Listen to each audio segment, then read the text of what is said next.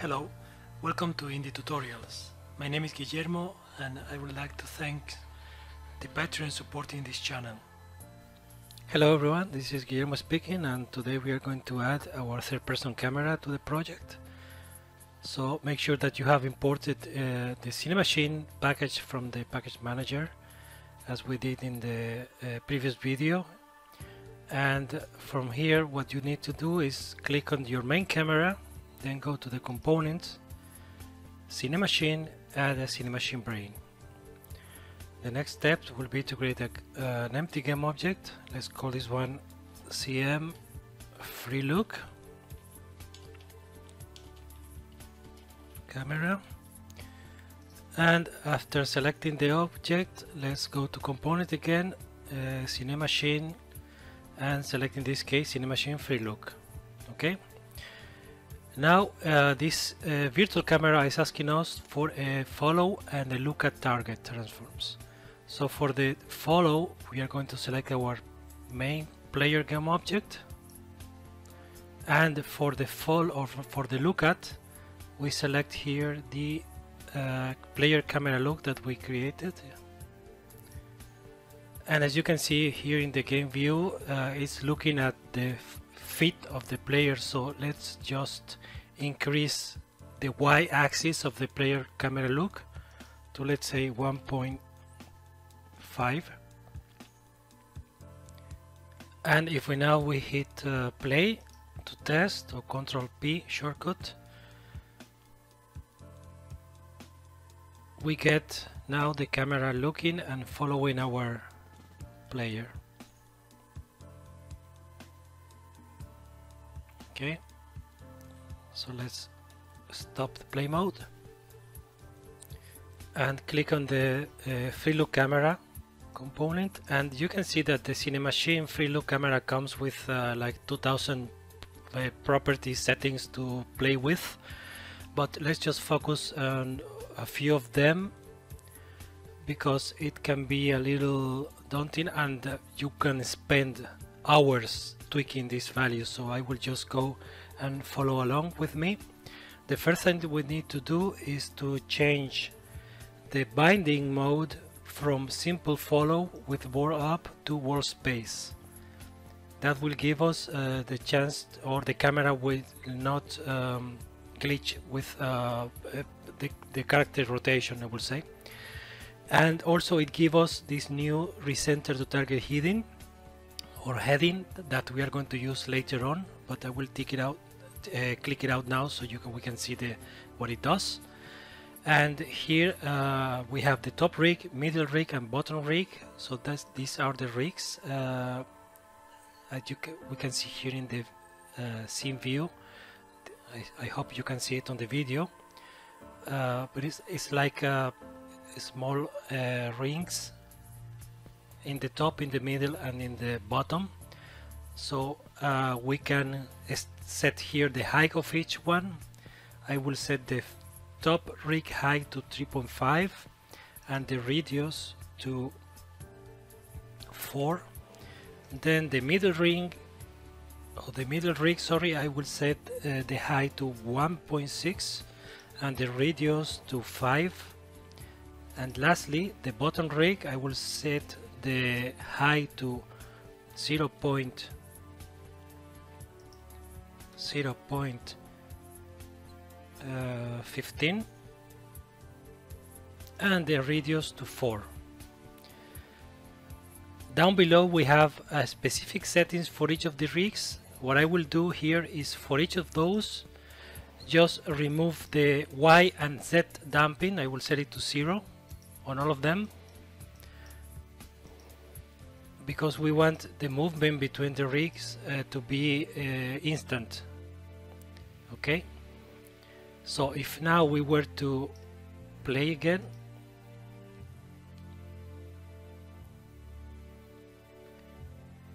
and if I move the mouse up and down we can see that how it transition between rigs. And if I move horizontally we can see how it transitions also between the rigs. Alright and if I let go the mouse you can see how this uh, setting about recentering is working.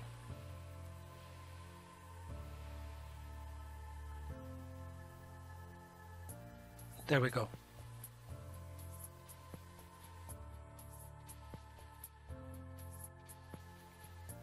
Okay, so next what we want to do is change our uh, character movement script to let the camera or the player uh, the, the player to move in the direction the camera is facing okay?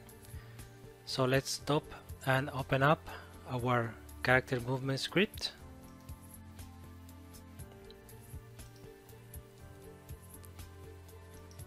and in the first place what we want to do here uh, we are going to remove this uh, variable this model transform we don't need it anymore. And if we scroll down uh, what is used is here in the handle rotation. So we are just uh, we can comment this out or just uh, change it. And what we need here is actually the transform of the game object. So let's just type transform in both places okay. And for the uh, uh, rotation of the of the the direction the move direction let's here in between uh, this line let's add more space. And this move direction that we are retrieving from the input uh, we want then to have the angle of the camera or the camera that is facing in the uh, up or y axis. So for that we are going to use the quaternion no quality level quaternion angle axis and we want here the camera transform that we are caching here. And from this transform we need to uh, fetch the rotation and then we need the, ang uh, the angle by using the Euler angles and only the y-axis okay? And then it's asking us for uh, the vector 3 axis that we want. So in this case of course is the vector 3 dot up. And then we multiply this for the current uh, move direction. Again move direction. After doing that we just normalize the value that we are receiving. And we can go back to Unity and give it a test.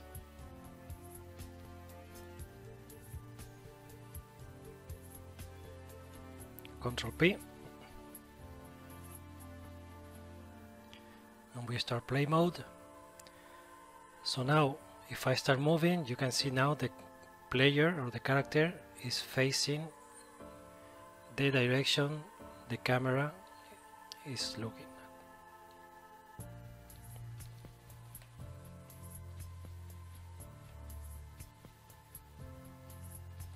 okay.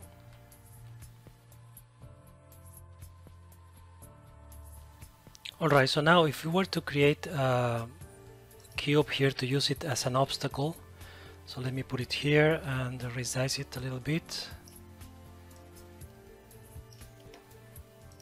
Alright and uh, let's uh, go to the FreeLook camera and I will untick the recenter to target heading or heading. And uh, let's hit Control P to start play mode. So if I were to go uh, the other side of, of the object you will see that we lose uh, visibility of the player. So to avoid that let me stop play mode. What we can do is go to this uh, FreeLook camera component. And uh, below here we have add extensions. So click on that one and select Cinemachine Collider.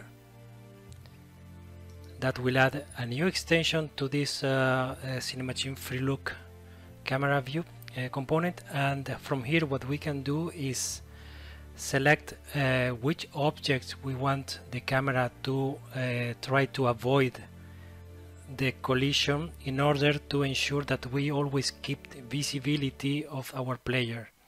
So there are several uh, strategy patterns that it's using. For example, pull camera forward, preserve camera high or preserve camera distance. We need to select in this case, uh, or I like to select pull camera forward.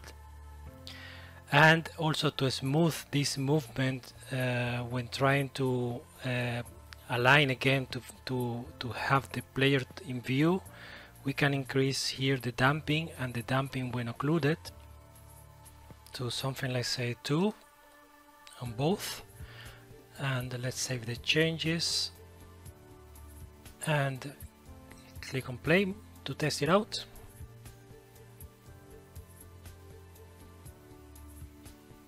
So if we were to hide in the wall you can see now the camera tries to align again to have the player visible okay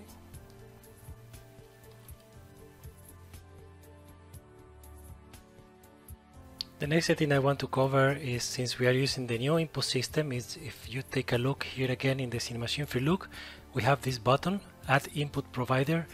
Uh, this is visible only when you, you have uh, uh, it detects that the new input system is uh, installed. So click on that one. It will add another extension I'll say uh, at the bottom and automatically is selecting this uh, input action reference from no I don't know from where but what we need to do here is selecting our data folder. We have the game input map that we created in previous video. So uh, from the game input map expand the hierarchy and here we need to select the camera look. So drag and drop it in this uh, slot. And this will allow us to use the gamepad to control the camera so once again if we were to click on play now I can use the gamepad to rotate the camera.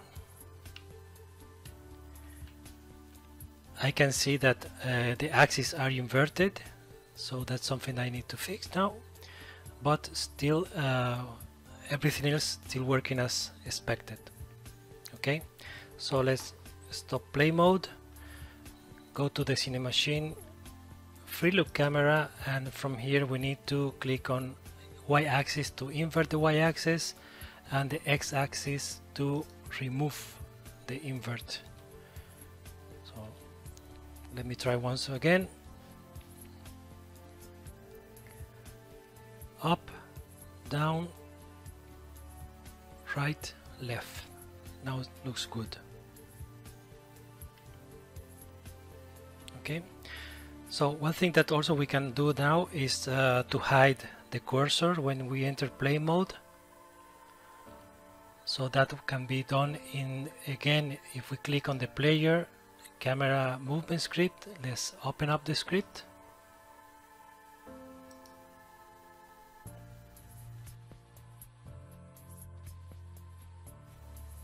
Once the script is open let me just delete this line here keep it clean and we can scroll down and we are going to reuse uh, the on application focus function which comes with the mono behaviors. So let's type public void on application focus and it's send, passing to us uh, whether the application had focus or not. So we can just check here if focus then we set the cursor lock state to cursor lock mode.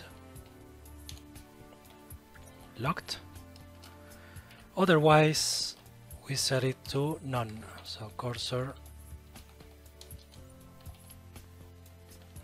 lock state none. That's it. So let's go back to unity. Let the script compile and let me play change the play mode to maximize and control P to start play mode. And now if I were to click inside the uh, game view you see that the mouse disappears. And I'm using the gamepad.